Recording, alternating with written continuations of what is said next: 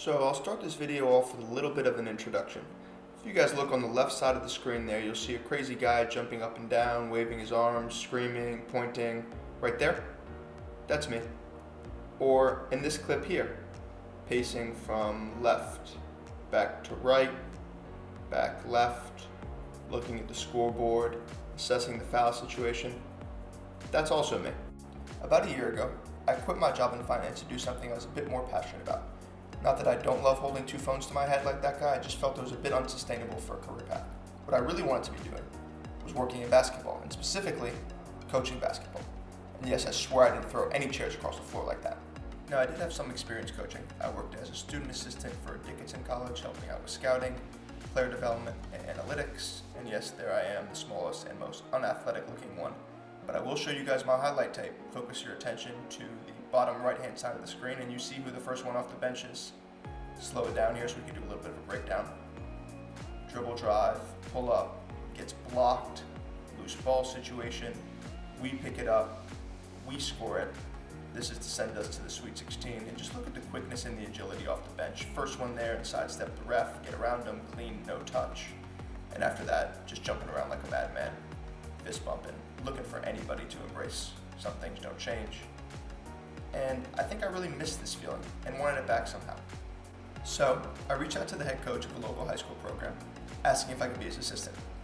We hit it off almost immediately, bonding over how bad the Knicks were, and next thing I knew I was on the staff. Now, this program wasn't exactly a juggernaut. I mean, we've really, really struggled over the years. Here's the standings from the year prior, and here's the standings from the year prior to that, and the standings from the year prior to that, and the year prior to that. So you get the point. But this isn't a video about another losing season. It's about how through some minor adjustments in our offensive tactics and strategy, we were able to have the first winning season in over a decade, qualify for both our New England and league playoffs for the first time in 25 years, and beat some of our most important league rivals for the first time, probably literally since the Stone Age. We also had some pretty cool locker room celebrations like this.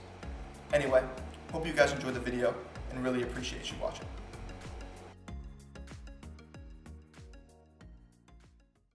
All right, so we had a little bit of fun there in the introduction, and I wanted to put this disclaimer in there for all the non basketball nerds. This next 13 minutes is going to be pretty heavy in terms of statistical analysis and film breakdown. So if you just came in to tune in for the introduction, I would advise and would not be upset if you turned it off right now. For all the nerds, this is probably what you're watching for anyway. So here's some quantifiable differences between last season and this season. It's easy to say that we got better but it's more important to say how much better. So points per game starting off a 10 point differential. And it can be a little bit of a noisy stat because of pace and possessions a game. I understand that. But even when you boil it down to a more granular level to the points per possession, basically a 20% increase um, in that stat. And then two really relevant stats here are the three point attempts per game, eight more, and the threes made, 50 more. And note that was in five less games due to some cancellations that we had. All of that leads into an effective field goal percentage that was 10 percentage points higher than we had in the previous year. And also note that this improvement was with the same guys that we had in the previous year, which I'll speak to in some of the clips that we break down. It wasn't like we brought in a bunch of five star guys and all of a sudden our offense exploded. It's really a testament to these guys and buying into what we wanted them to do. So here's a comparison of the shot charts from last season and this season.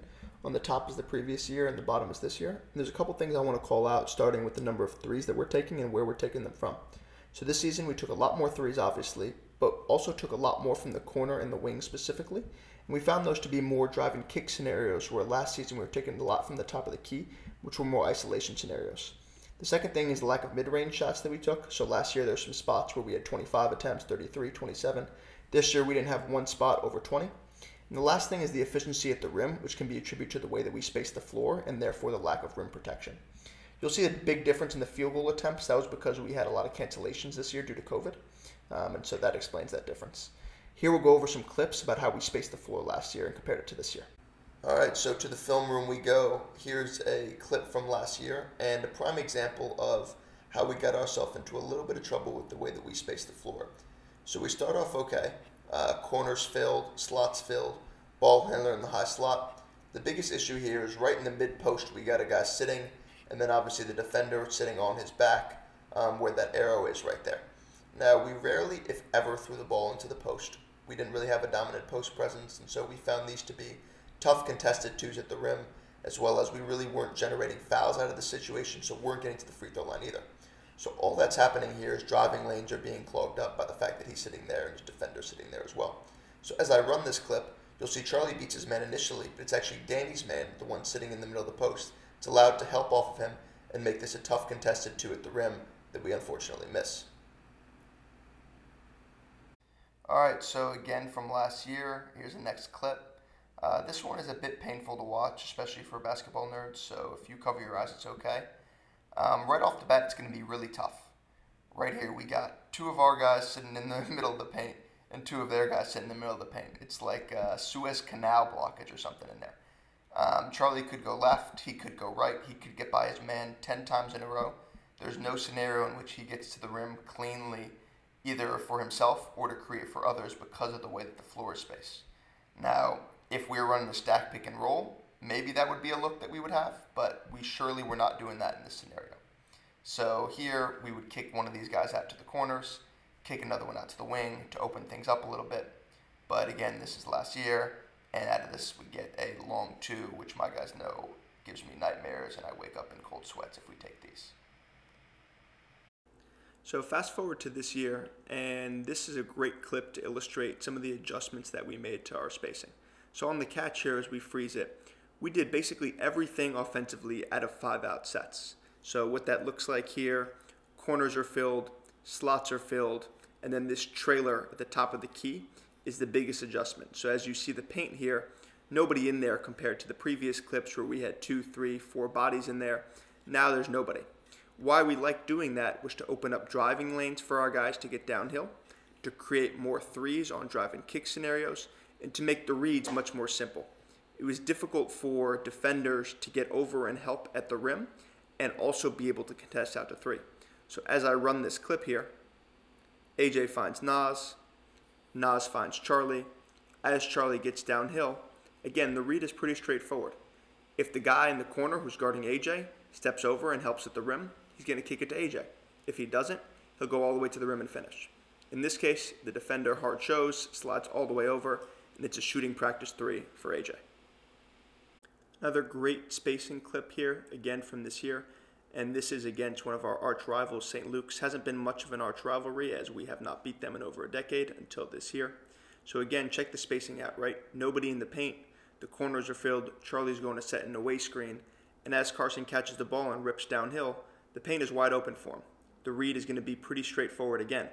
If that low man where the arrow is pointing steps over to contest at the rim, it's going to be a kick out to AJ like we saw in the last clip. And if he doesn't, we're going to get all the way to the rim for a finish.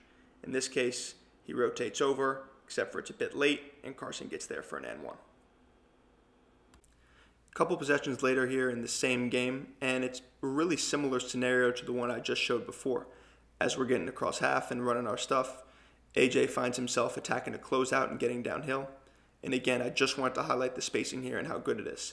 Check out the corners, high slot, and as Charlie is cutting through, bringing his man with him, that's going to open up the paint for any drives and any downhill attacks. So as AJ catches, it's a decisive move, and we're just reading that low guy as we showed in the previous two clips. If he steps over, we're going to kick it. If he doesn't, we're going all the way to the rim.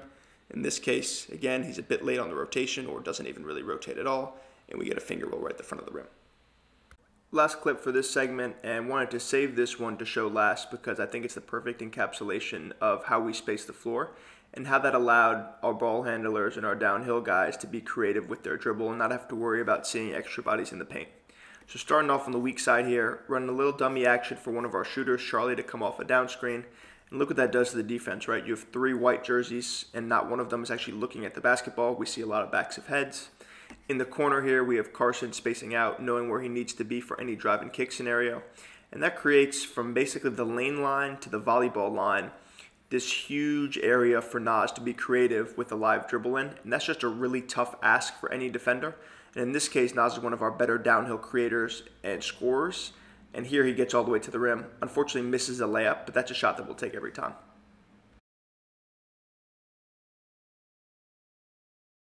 So we just went over how the improvements in our spacing opened up driving lanes for guys, made drive and kick scenario reads a little bit easier, and ultimately led to less contests at the rim.